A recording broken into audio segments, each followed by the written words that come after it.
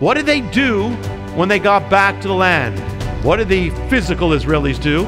They came back and they found it desert. It was, it was the most, it had to be the most forbidding land on earth that had ever been inhabited.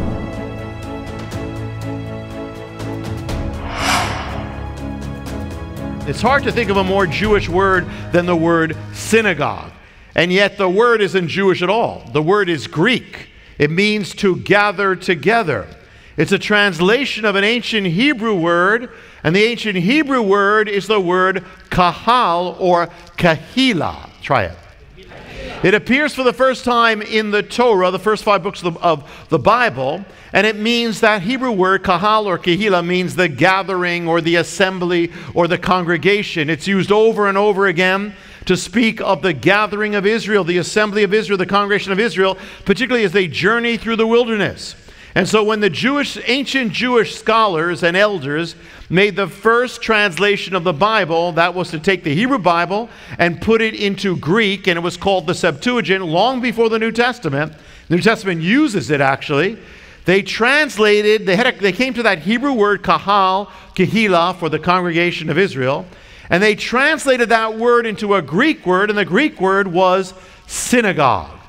But here's the thing they didn't just translate that Hebrew word into synagogue, they translated it into another, two different Greek words. One was synagogue, and the other one was ecclesia.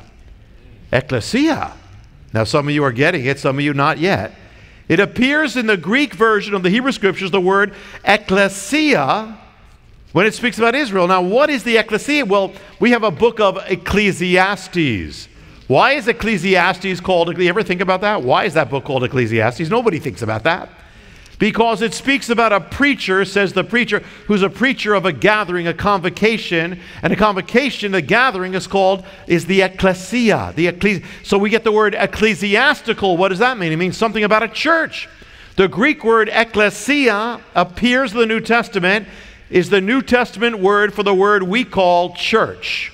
The New Testament word for church. Now, church is not the best word as far as by, by its actual meaning. I mean, it's become the word, but it's really not the most accurate translation of ecclesia because church means house of the Lord.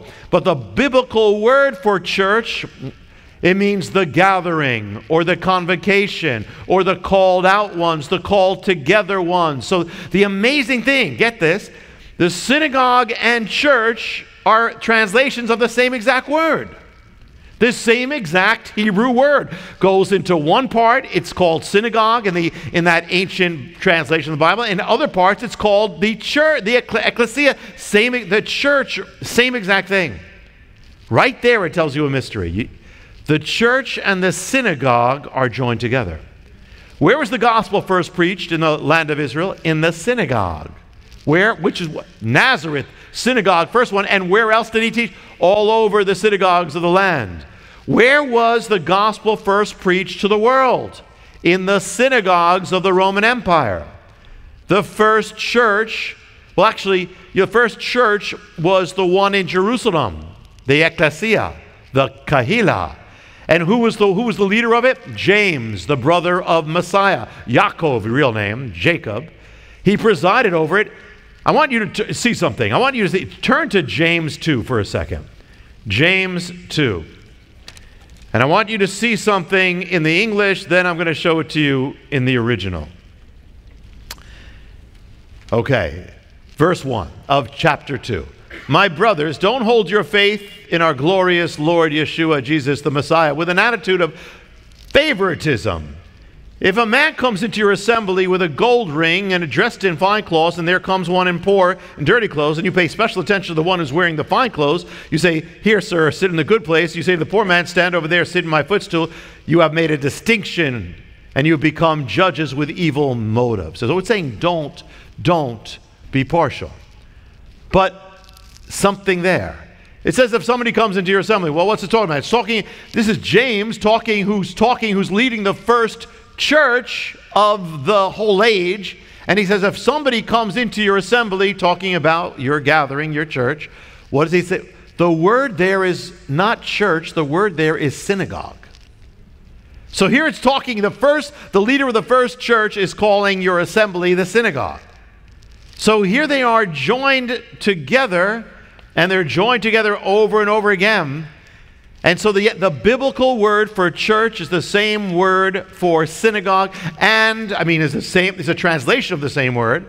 And it's you, the biblical word for synag- for actually church, ecclesia, is used to for the translation what of the Old Testament word, which speaks about the congregation of Israel journeying in the wilderness. What is the church? The church is the spiritual Israel. Doesn't replace Israel, it joins Israel. It's a spiritual version of Israel. And it's like a, a, a pilgrim people who are journeying through the wilderness to the promised land. So, what does Paul say? Ephesians 2. Actually, turn to it for a moment. Ephesians 2. What does he say about you who were made, you were not born of Israel, but you were born again of Israel? Ephesians 2 says at the beginning, it speaks about the Gentiles who have come into the faith, and it says this Ephesians 2, verse 11. Therefore, remember that that you, formerly you, the Gentiles in the flesh, meaning according to the flesh only, who are called unto uncircumcision by the so called circumcision, which is performed in the flesh by human hands. Remember, you were at that time separated from Messiah, excluded from the commonwealth of Israel, strangers to the covenants of promise, having no hope, and without God in the world. But now, you in Messiah, Yeshua, who was Formerly, you were formerly far off, you've been brought near by the blood of Messiah. Now, now how have you been brought near? Look at verse 18. For through him we both, Jew and Gentile, have our access in one spirit in the Father. So then you are no longer strangers, no longer aliens, you are fellow citizens with the saints and are of God's household. Okay, the first part it says you were strangers excluded from what? The commonwealth of Israel. Then at the last verse, it says, You are no longer strangers, aliens. You are now fellow citizens. In what? What? What are you fellow? What are you a citizen of? What you were excluded from before, you are now a citizen of what? Israel. You are a citizen now. You were excluded from the commonwealth of Israel. Now you are a citizen in the commonwealth of Israel. So you who are born again, you weren't born of Israel, you are born again of Israel. And so therefore the church, in the same word as synagogue, is the spiritual Israel. And so what does that make you? It makes you not only a citizen of Israel, more than you're a citizen of America or any other nation, you are a citizen of God's Israel. What does that make you? That makes you an Israelite.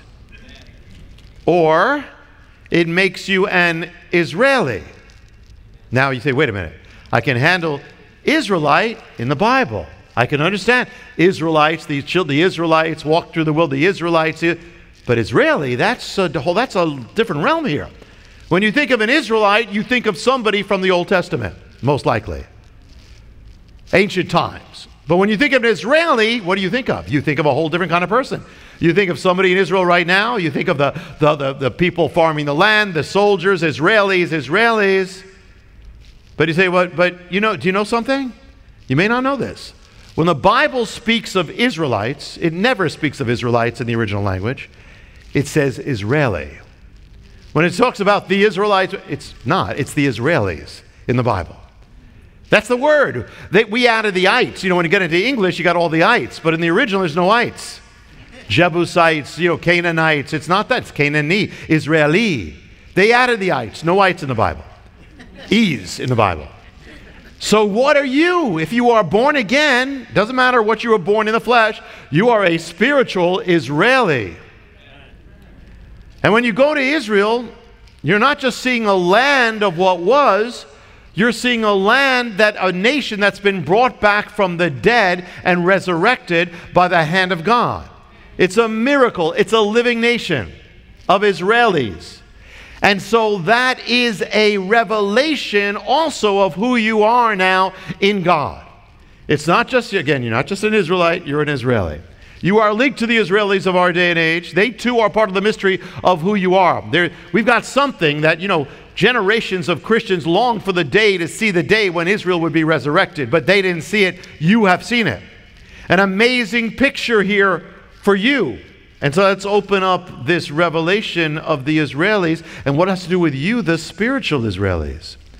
In Jeremiah 31 and 30 and 31, it speaks about, and actually in other places as well, it speaks about that the Jewish people would be scattered to the ends of the earth and they will be in exile in the ends of the earth. The word in Hebrew for the exile is called the galut. Try it. Galut, and Israelis know it. It's, it's based on a word in the Bible. That, that means they were all over in every nation, speaking languages of every nation. But before Israel was a nation, virtually all the Jewish people, I mean, except for very few, were all in other lands and other languages, other cultures. They weren't born in Israel. Most of the people in Israel, you go back a few generations, they weren't born there. They were born somewhere around the world. Very few were in the land a few generations back. So when they came to the land of Israel, it was a strange thing.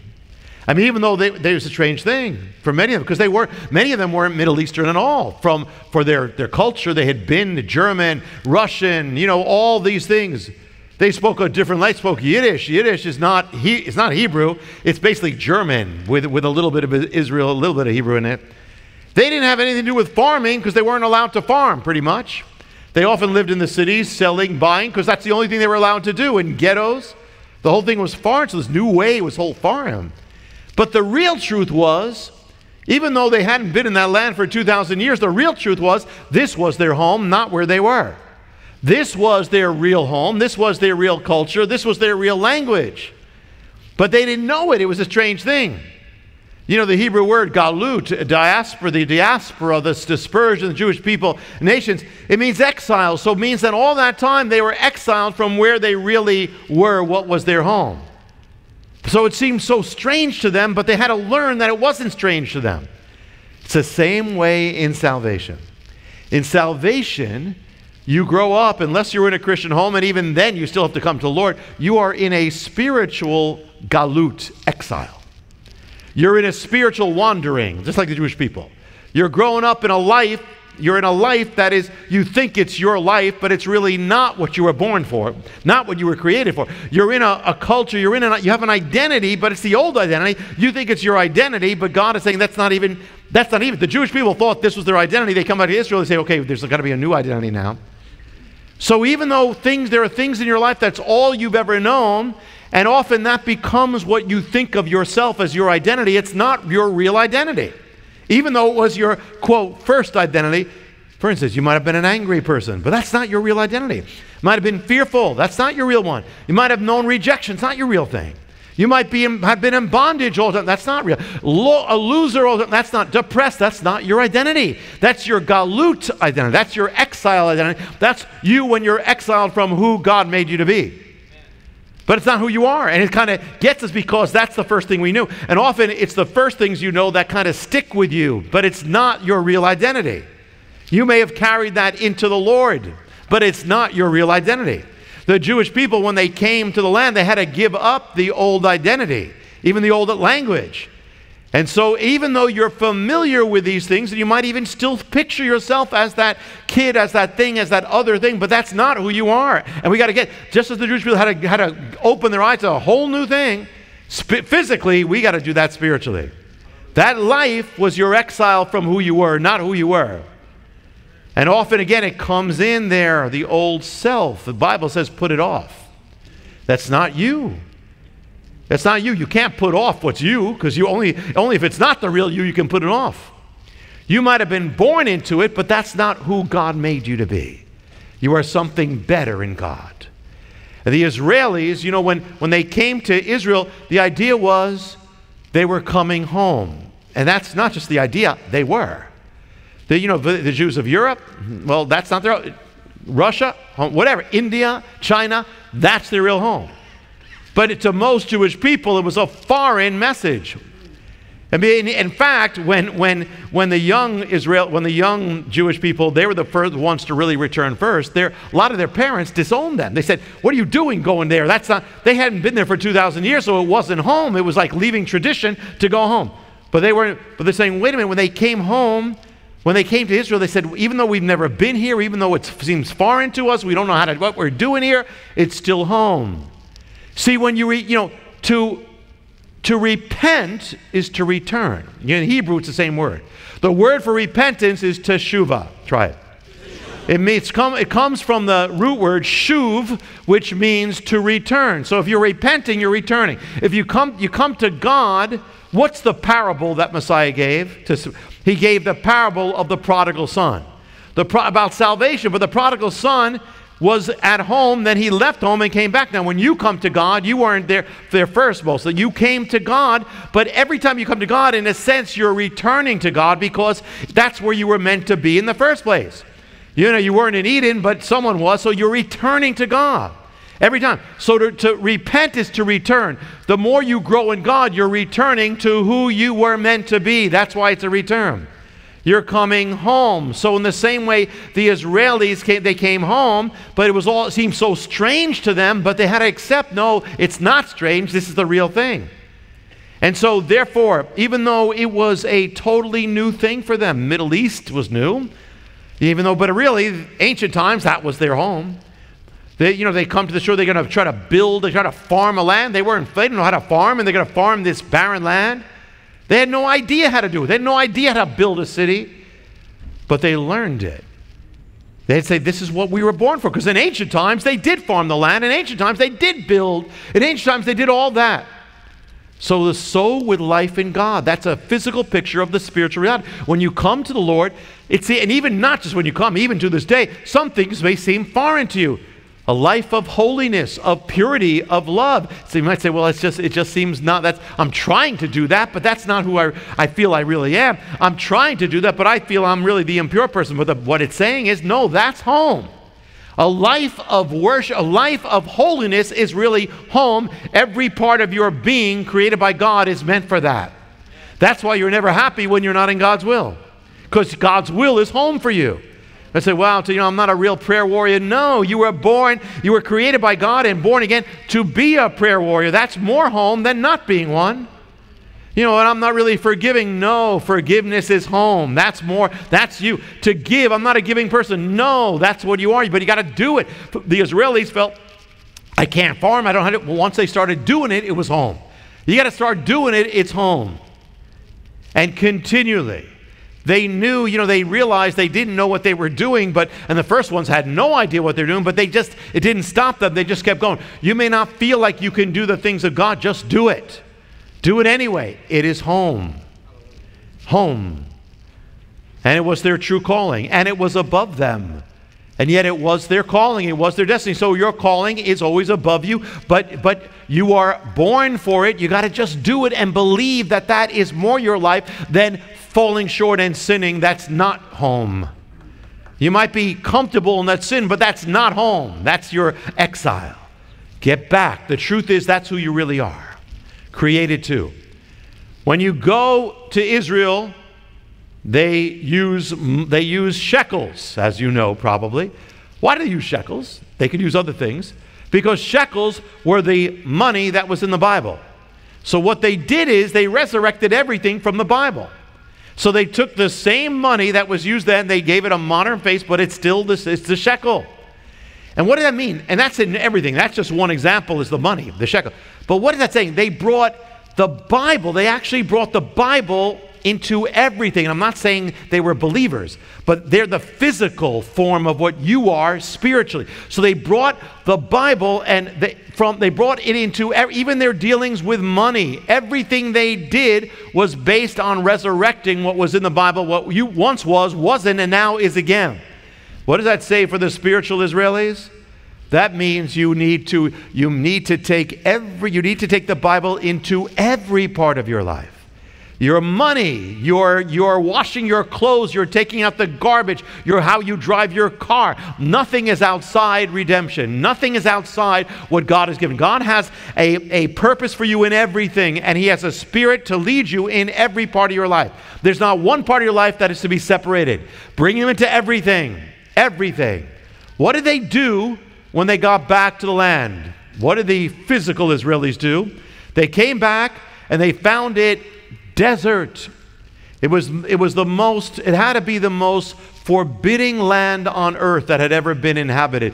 Desert, barren. Some parts looked like the moon. It was barren. There wasn't anything growing there. You know, Mark Twain, I shared with you, he came there and he said you, you could go for miles without seeing anything, even no, not even a blade of grass. They went back, they found that. What else did they find? They found swamps. You know, the part that where there was water was swamps filled with malaria.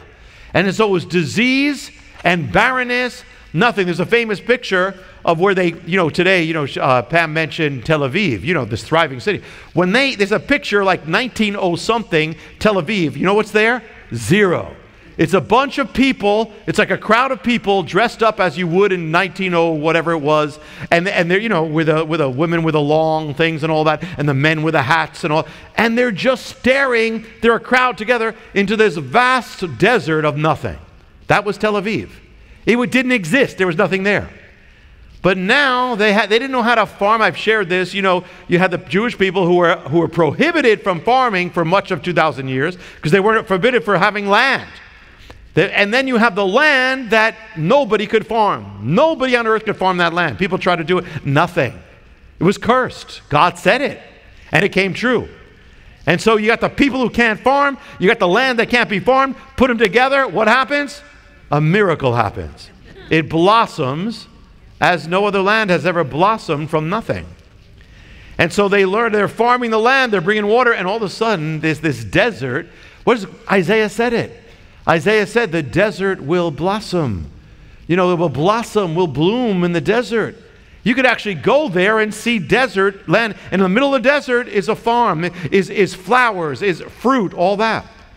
You go to Israel, you know, Israel's the one land on earth that at the end of the 20th century it had more trees than at the beginning.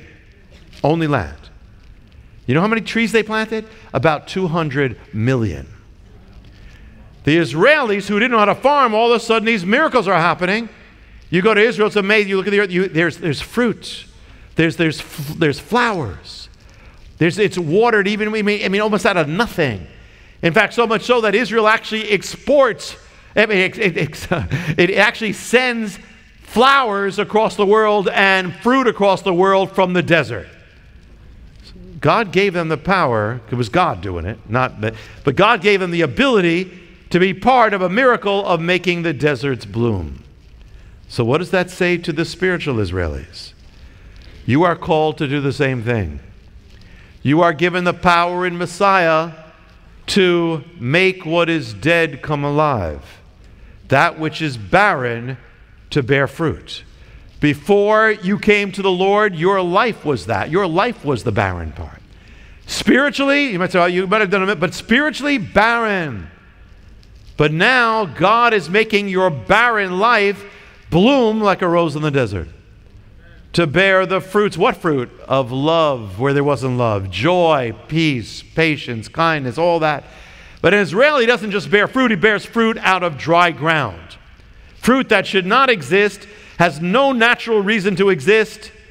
The fruit, so you were called to bear, also has got to be miraculous.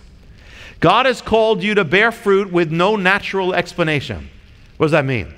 You're called to bear fruit when you have no reason to love that person. God has called you to bear the fruit of love for that person.